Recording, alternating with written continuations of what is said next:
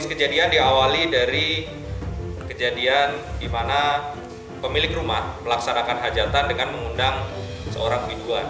Pada saat kegiatan berlangsung, sang biduan merasa lelah istirahat di dalam kamar.